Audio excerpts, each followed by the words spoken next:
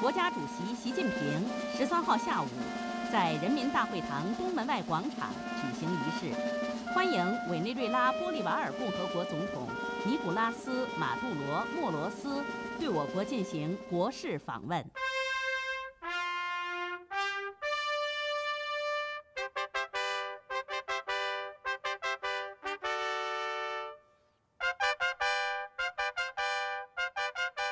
习近平主席夫人彭丽媛，中共中央政治局委员、中央外事工作委员会办公室主任王毅等出席欢迎仪式。陪同马杜罗访华的有总统夫人、副总统、外交部部长等。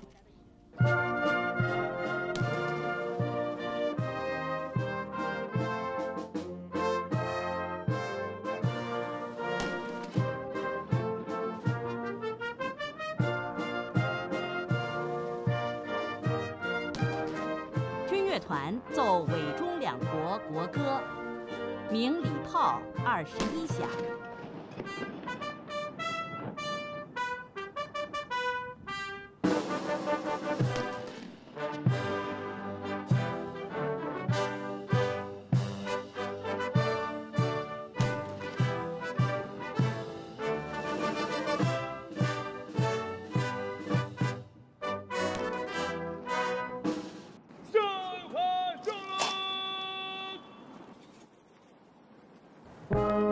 马杜罗在习近平陪同下检阅中国人民解放军仪仗队。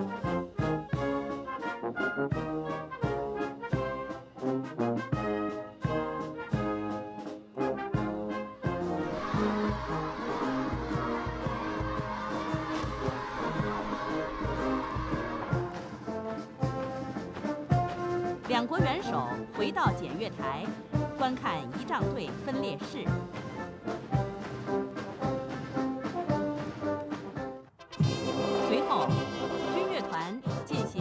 行进吹奏表演。马杜罗是应习近平的邀请，对我国进行国事访问。